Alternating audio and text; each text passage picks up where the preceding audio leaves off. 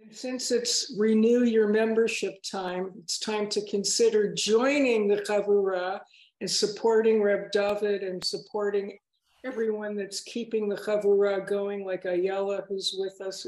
Couldn't work with, we couldn't, couldn't be here without all of your holy assi- assistance. And so I hope that there's an, I, I live in Arizona and I attend all the services. And it's really changed my life and my husband's life that we could just come on and be in a service that's so well done that you feel like I'm in the right place at the right time. And I'm so lucky I can be wherever I am and I can be a part of the Chavurah and everything that the Chavurah has to offer.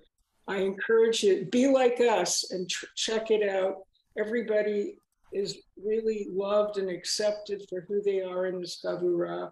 And if you're looking for a place to belong, this is a good place. And if you already belong somewhere else, that's okay.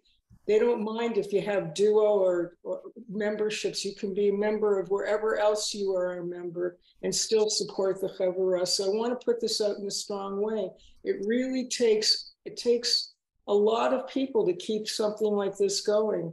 And so, whatever it is, whatever it is in your heart that you're feeling now, please let that translate into supporting the Chavurah and all the good work that it does. It's the greatest mitzvah in the whole world. And I, I feel like I'm really meriting, and so is my husband, by being a part of this. So please join in whatever capacity you can.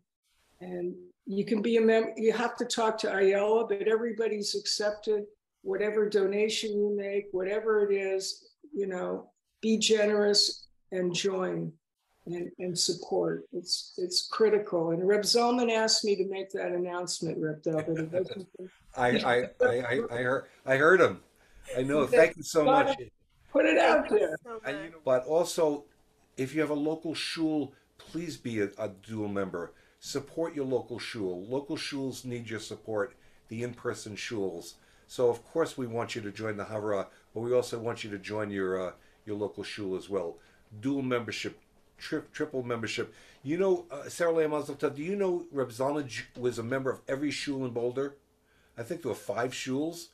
He he he he, he davened for Chabad, for the Reform Shul, the Reconstruction Shul, the two renewal shuls. Those are- he was a member of every single shul in Boulder and the conservative shul too. It's a great model. When we go to heaven, I want to be able to say I joined them all. Yes.